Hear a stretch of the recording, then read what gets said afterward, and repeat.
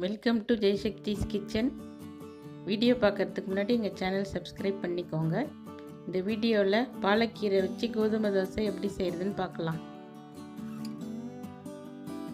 ஒரு கடாயில் two hundred ml water boil பண்ணிக்கலாம். அதில் ஒரு ஏழு பல் பூண்டு சேர்த்துக்கலாம். ஒரு பச்சை மிளகாய் பொடியை கட் பண்ணி அதையும் ஆட் பண்ணிக்கலாம். தேவையான அளவு உப்பு சேர்த்துக்கலாம். ஒரு கைப்பிடி பாலக்கீரை க்ளீன் பண்ணி வாஷ் பண்ணி வச்சுருக்கேன். அதையும் சேர்த்துக்கலாம்.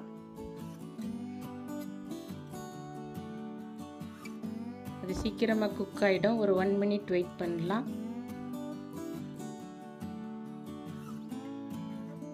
அதுக்கப்புறம் ஸ்டவ் ஆஃப் பண்ணிடலாம்.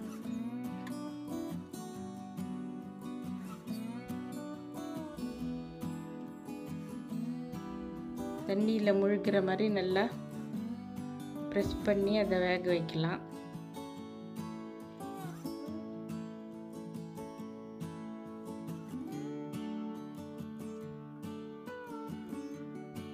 ஒரு லிட் போட்டு ஃபைவ் மினிட்ஸ் மூடி வைக்கலாம். அதுக்கப்புறம் அதை ஆற வச்சு மிக்சி ஜாருக்கு ட்ரான்ஸ்ஃபர் பண்ணி நல்லா பேஸ்ட்டாக அரைச்சி எடுத்துக்கலாம்.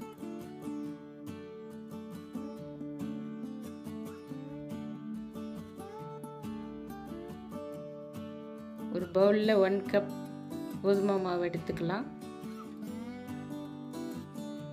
நம்ம அரைச்சி வச்சுருக்க பாலக் பேஸ்ட்டை கொஞ்சம் கொஞ்சமாக ஆட் பண்ணி மிக்ஸ் பண்ணிக்கலாம்.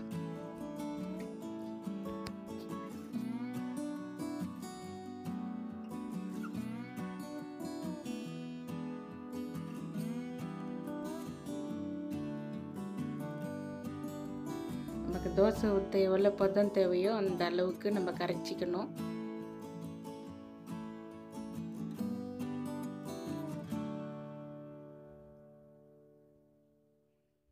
நான் மொத்த பேஸ்ட்டுமே ஆட் பண்ணிட்டேன்.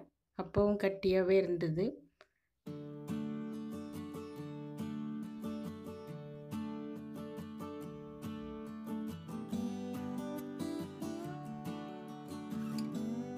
திக்காக தயிர் எடுத்துக்கோங்க. அது ஒரு ரெண்டு டீஸ்பூன் ஆட் பண்ணிக்கோங்க.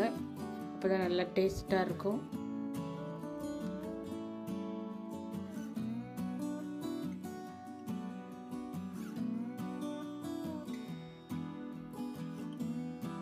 தேவையான அளவு தண்ணி ஆட் பண்ணிக்கலாம்.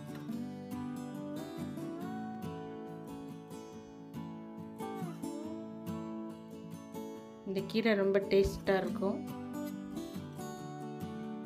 அதனால் இந்த தோசையும் ரொம்ப டேஸ்ட்டாக இருக்கும். கீரை சாப்பிடாத கிட்ஸுக்கெலாம் கூட நீங்கள் இதை செஞ்சு தரலாம்.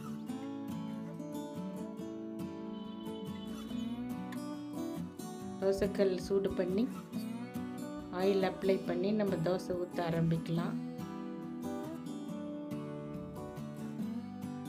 உங்களுக்கு சாஃப்டான தோசை வேணும்னா இந்த அளவு பதம் இருந்தால் போதும். இன்னும் கொஞ்சம் ரோஸ்ட்டாக வேணும்னு நினச்சிங்கன்னா இன்னும் ஒரு கால் கப் தண்ணி ஆட் பண்ணிக்கோங்க. எப்பவும் தோசைக்கு நல்லெண்ணெய் தான் நல்லாயிருக்கும். அதனால் நல்லெண்ணெய் யூஸ் பண்ணுங்கள்